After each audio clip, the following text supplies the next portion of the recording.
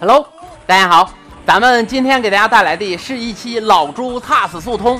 只要是 TAS 啊，不管是什么角色都秀，都是最高伤害。这边电符解冻出场画面，火云刀两点，完事之后往前跑怎么办？直接一个镜子给他落位。地煞弓，地煞弓是为了清兵，连打 BOSS 再清兵，然后再给葫芦，葫芦也是连打 BOSS 再清兵，剩一个兵没有关系，不影响下一下一波兵出来啊。再给一个地煞弓，这是最后一波兵跑过去，直接一个塔砸下去引出来。这时候金角哥哥的血量已经没有了啊，已经 打完了，一个大肚子拱直接带走。捡上金刚咒，完事之后来到红孩儿平一平一接拱。老朱打红孩儿的话，多多少少还是欠缺一点，因为你要用波动太慢了。你要是打平 A 的话也不快啊，所以说这没有办法，只能说是每一次都平 A 压他起身都能压得住啊，这样的话打的还稍微快一点。然后平 A 平 A 接拱，平 A 平 A 再接拱，冰扇子啥时候用？平 A 平 A 接冰扇子，因为他身上是没有道具的啊，所以说呃就只能打平 A 了啊。道具的话都是随吃随用，这样的话可以用地煞弓一直清兵。最后把红孩儿放走这一下是为了多摊一下伤害，要不然的话红孩儿又多一次强法。这里来到了陆哥啊，也是老朱打速通慢的最大的原因啊，就是这一关。这一关老朱的属性是一个贝克关卡，平 A 只能打四点伤害，然后他要借助着这个扔，这个扔的伤害是比较高的啊，应该是十二。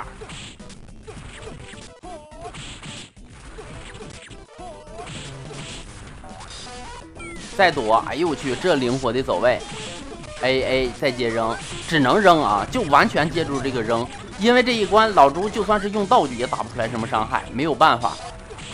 如果不是因为这一关啊，老朱的速通不一定是最慢的啊，就是因为这一关，所以说老朱的速通是五个角色里边最慢的。平一平一接扔，直接给他扔掉，完事之后捡上金刚咒，捡上雷电戟，过来来到杨哥，杨哥这里就可以抓波动了啊。先捡上道具，平 A 平 A 接一个扔扔过去，平 A 平 A 跑跑停接扔，完事之后给一个金刚咒。杨哥防御力比较低啊，金刚咒啊什么的这些道具以及波动打他伤害都比较高。再捡上钩子，哎，猪哥哥他捡道具比别人快啊，捡道具不拖时间。这里起了一个波动啊，波动伤害比较高，然后平 A 平 A 接拱再起波动。老周这个波动只能用到。伤害比较高的 BOSS，伤害稍微低一点，他就不能抓，他都不如打平 A 合适，因为老朱的波动持续时间太长了。平 A 再接拱，捡上镜子，然后再捡镜子，什么啊？土还捡上了，哎，捡道具就是快啊！这边电符解冻出场画面，跑过来，直接一个双倍伤害的镜子，一个大剑拽回来。老朱这个镜子单倍伤害只有二十多，双倍伤害也就五十多的伤害啊。二十八，没记错是二十八。平 A 平 A 接扔，依然是选择使用。哎，这里又给了一张电符，依然是选择使用扔这一下的高伤害来打。平 A 的话就是能摊一点是一点，平 A 只能打四点伤害，很难受。继续平 A 平 A 接扔，他现在身上这个道具也起来了啊，到了后边的关卡就打得快了。三倒三倒，虎哥又是强法，又是一个跺地，平 A 平 A 接扔，不管这个小兵，躲着小兵继续扔。平平 A 再接扔，完事儿之后一个雷电戟收尾，终于熬过了第三关啊！对于老朱来讲，第三关真的是煎熬。这里来到了水关啊，水关是咱们老朱的优势属性关卡啊，优势属性关卡，这个大肚子拱平 A 什么的方便面的，对吧啊？这个伤害就起来了，打海胆的话啊，就一顿压制啊。雪莎躲一下，完事之后来到了金鱼精，直接一个塔砸下来，完事之后起一个波动，这个塔砸五十四点伤害啊，毕竟优势属性关卡，这一个塔下去就是五十四啊。完事之后平 A 平 A 接镜子接波动，这一个镜子是五十二啊，镜子葫芦五十二，塔是五十四啊。老朱打这一关伤害就是高，波动也是四十一啊，波动比猴哥低一点，猴哥是四十二。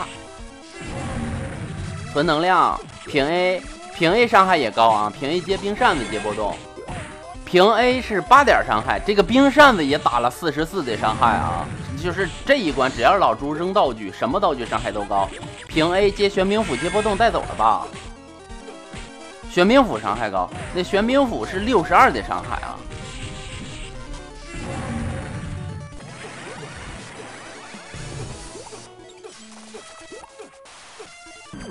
啊，这边来到了蜘蛛王这一关，直接起火扇子。这个火扇子的弹道是真的得劲儿啊！而且老朱的火扇子打蜘蛛女是一个满伤害三十八，然后再接一个镜子，再接一个镜子。这时候等蜘蛛女强反，能量囤满，平 A 平 A 接镜子跑过来，然后再平 A 平 A 再接镜子，再起波动，直接带走啊！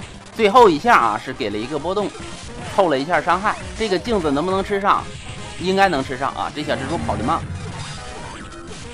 点上镜子啊！这个蜘蛛王出来的这一段时间啊，咱们就多吃点镜子，然后直接一个塔砸下来，完事之后把镜子打开，直接钩子往回旋，一二三四，拱拱拱拱，然后捡一下镜子，再继续拱。老猪大肚子拱的伤害一直都很高啊，就是这一招的话是容易挨揍，但是它的伤害是有的啊。拱蜘蛛王一下有十四点伤害啊！蜘蛛王下水十次之后啊，咱们在这里等镜子啊，又是一顿出镜子啊！镜子镜子来镜子，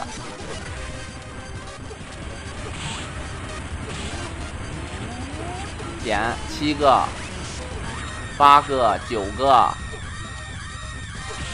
捡前梯控一下兵过来继续拱，一二三，然后四五六七，镜子再给一个镜子啊！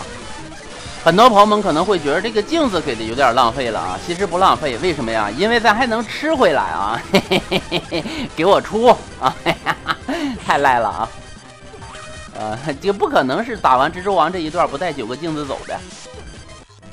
这边来到了我鹏哥，直接电符开啊！鹏哥是一个防御力比较低的 BOSS 啊，五个角色打他波动伤害都高。你看猪哥哥这一个波动打的伤害也不低啊，五十。应该还能再接一个波动，这波动完了应该不接了，一把大剑带走了，应该是能量要掉，你看是吧？能量掉了，没有时间再去充一次能量了，完事儿咱就直接一把大剑给他带走。老朱这个角色的话，小道具还行，但是他大宝不太厉害啊，大剑呐什么的都比别人要弱一些。两个镜子加一个波动，注意小细节，下来之后不摁字儿，让他的这个血条快速的先流完，要不然的话一会儿不够。你看是吧？啊，然后直接落地就给镜子，然后火云刀。这里的话是比正常打要提前卡一轮门。再火云刀两点，捡一个镜子。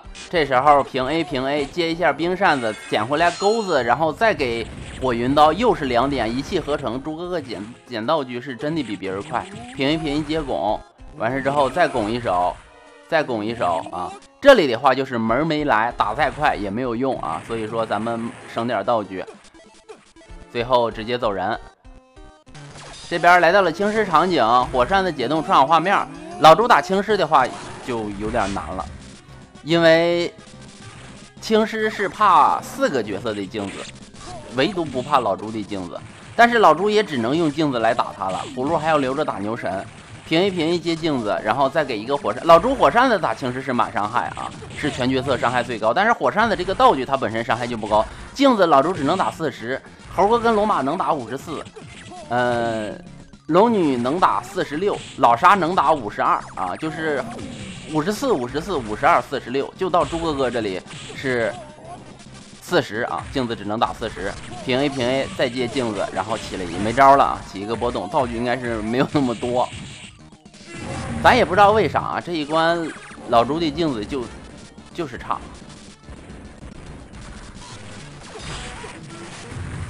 这边来到老鼠姐姐这里，直接火云刀求两点，完事之后给他打进去啊！站在火扇子这里，还想偷个火扇子，直接一个平 A 把火扇子偷下来。完事之后进来，进来之后有两个火云刀要炸四点，因为老朱的。火云刀伤害低，只能打五十六，好像是五十六。完事之后，猴哥能打六十四啊，差这点伤害四点的话，差点伤害一出。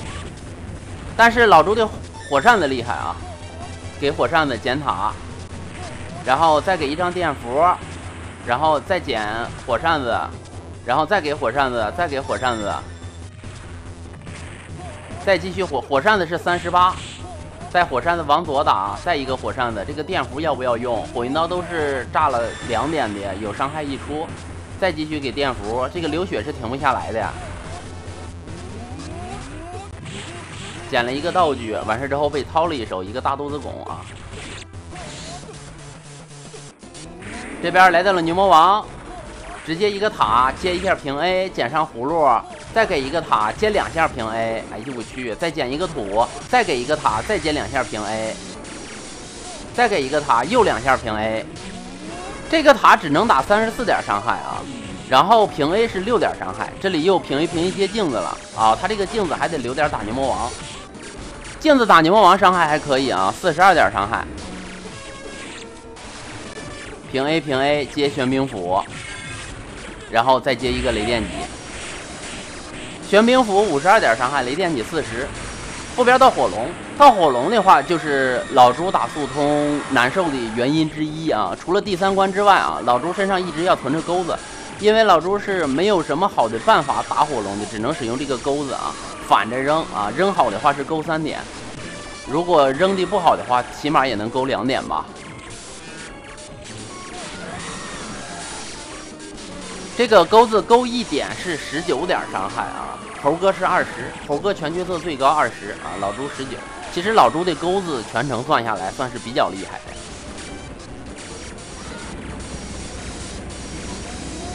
钩子一直占着自己一个格子，其实也挺难受。